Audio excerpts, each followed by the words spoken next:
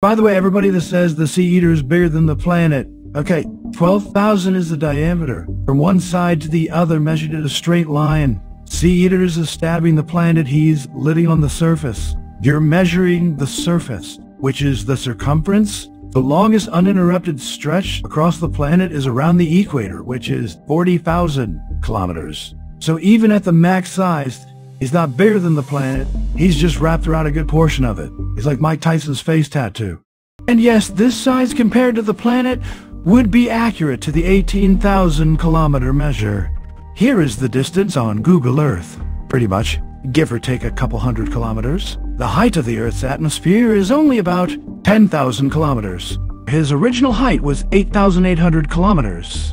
So yeah, at that size, his topside isn't just dry. It's numb and probably dead tissue from lack of oxygen. Good thing Bobert Rob downscaled him, huh?